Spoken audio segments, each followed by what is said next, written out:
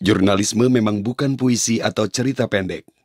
Ia berangkat dari fakta, bukan berasal dari imajinasi dan daya hayal. Ia harus rigid, tak diperkenankan abu-abu, tak boleh ada tafsir yang arbiter.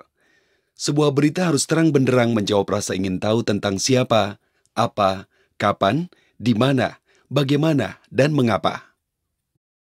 Jurnalisme itu harus bebas dari anarki, tak bisa lepas dari kaidah dan aturan, karena pewarta tak cukup hanya menata imajinasi. Itulah kenapa ia harus tetap terikat dengan nalar, karena sebuah berita bukan sandi dan kode yang harus dibongkar dalam seminar untuk diketahui maknanya. Berita membutuhkan ketekunan untuk menatahkan kata-kata, menimang dan menimbang kalimat maupun prasa yang tepat, mengukur koherensi, mengkalkulasi konsistensi. Dengan kata lain, kerja keras intelektual dan akal sehat.